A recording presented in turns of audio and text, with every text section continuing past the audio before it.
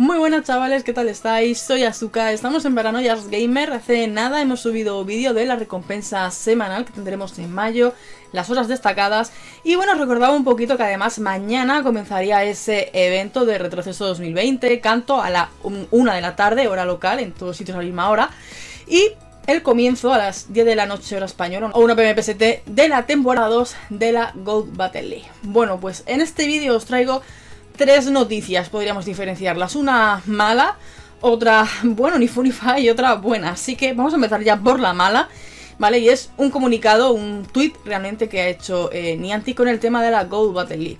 Y es que os leo prácticamente literal lo que han publicado, ¿vale? En Twitter, eh, entrenadores, hemos identificado un problema técnico que debe abordarse antes de hacer la transición a la temporada 2 de la Go Battle League.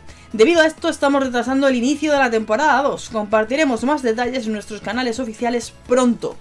Gracias por su paciencia y comprensión. Antes de este tweet venía otro que decía prácticamente lo mismo, ¿vale? Que habían identificado un problema, no hablan de qué problema es, pero bueno, un problema que no permite eh, pasar adecuadamente a la temporada 2, que sería mañana, y que, y que en ese tweet sí que ponían que eh, la semana que viene, ¿vale? Lo retrasaban como una semana o unos días esta semana que viene, ¿vale? Donde comenzaría la temporada 2. Entonces, em, claro, aquí entra la duda, ¿vale? Mañana no hay temporada 2. ¿Qué ocurre con todas las fechas que habíamos dado? Porque teníamos la fecha de la Superliga, Ultraliga, la Masterliga con la Copa Premier, todo eso no sabemos si al moverse el inicio de temporada también se moverán las fechas, que imagino sería lo correcto. Tampoco tenemos un día de inicio concreto, sino que estaremos pendientes a redes sociales y cuando se sepa el día de la Go Battle y si cambian eh, la duración de las copas, de las ligas, pues os lo traeré. ¿Vale? Y por otra parte habrá que esperar a mañana también, ¿vale? A ver si la temporada 1 finaliza mañana, que era lo programado, o al alargar esa transición, esa salida de la temporada 2, también alargan la duración de la temporada 1, ¿vale? Por el tema de recompensas y todo esto. No lo dejan muy claro, así que espero poder aclararoslo cuanto antes, porque de momento simplemente dicen que la temporada 1 se retrasa unos días por problemas técnicos. En fin, en fin. Esta es la noticia mala, ahora os voy a traer, bueno, la información nueva que ha llegado con respecto a Pokémon GO, tanto información oficial como cosas encontradas en el código bastante interesantes. Lo primero es que, bueno, han hecho una entrevista al manager general de Niantic, ¿vale? Y básicamente, bueno, eh, comenta lo más interesante que están adaptando Pokémon GO al tema de la crisis del coronavirus. Y que además, bueno, están haciendo, introduciendo cambios rápidos y otras novedades importantes. Imaginamos que se refieren, pues, por ejemplo, al tema de las incursiones, pases remotos y tal. Pero también han dicho, bueno, otra afirmación y es que eh, Niantic ha confirmado ya eh, planes de hacer el Pokémon Go Fest de este año, ya sabéis, esa fiesta mundial de aniversario de Pokémon Go, ¿vale? A nivel mundial este verano. No sabemos si realmente no harán acto presencial, seguramente no, y seguramente opten por alguna fiesta para todo el mundo donde podamos celebrar el Go Fest, pero desde casa. Esto no lo dejan claro, simplemente que Go Fest se va a celebrar mundialmente el cómo habrá que esperar a ver cómo lo hacen. Y ahora vamos a cositas que se han encontrado en el código de próximos eventos y alguna que otra cosa bastante interesante. Lo primero y bueno, lo más importante es que Niantic sigue trabajando en el tema de los pases remotos, que sí, están ya activados, pero la función yo creo más interesante que es la de poder invitar a tus amigos eh, de cualquier parte del mundo a incursiones, ¿vale? O que te inviten a ti. Esa parte es la que de momento siguen mejorando y metiendo cosas en el código. Así que, eh, ¿vale? Todo esto, ya digo, relacionado con el tema de invitar amigos.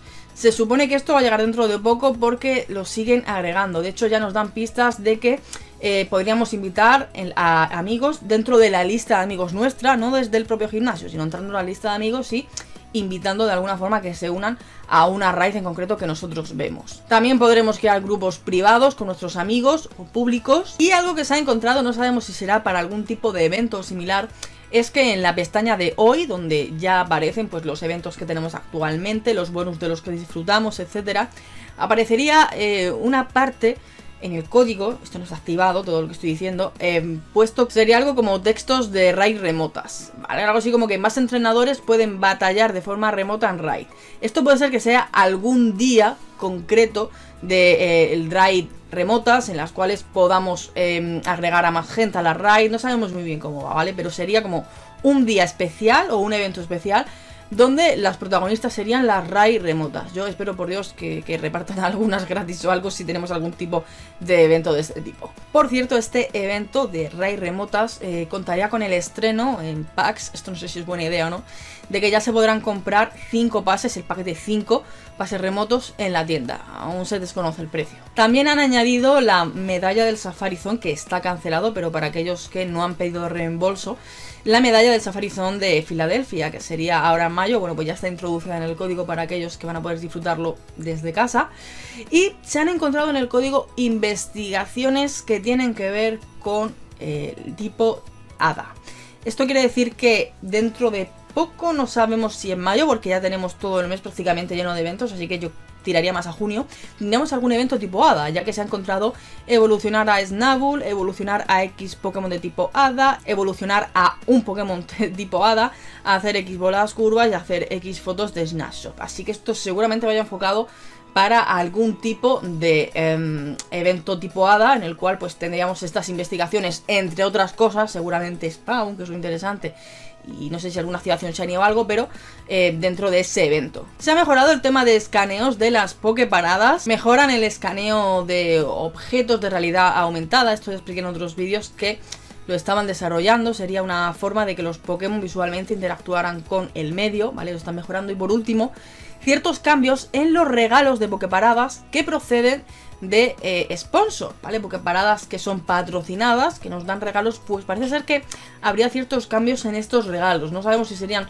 solamente visuales o traerían algún contenido especial siendo de, de patrocinadores, pero es lo que están añadiendo al código. Esta sería, bueno, la noticia intermedia, información, evento, día de raid, remotas, etcétera. Y ahora os voy a dar por lo menos ¿no? una, buena noticia y es que mañana a la una de la tarde eh, jugaremos en directo, comenzaremos en directo mejor dicho, eh, la investigación especial del retroceso 2020 Canto. Vale, entonces, en ese directo, como en los anteriores que he estado haciendo, em, ya sabéis que cada 100 likes daremos cajita de Meltan para quienes estén en el chat. Si me sale algún Shiny, ¿vale? También daremos cajita de Meltan. Y aparte, en la descripción de ese directo habrá un reto. No lo voy a anunciar todavía, tenéis que pasaros por el directo y mirar qué reto es, porque lo tendréis explicado en la descripción del vídeo, junto con el premio y junto todo.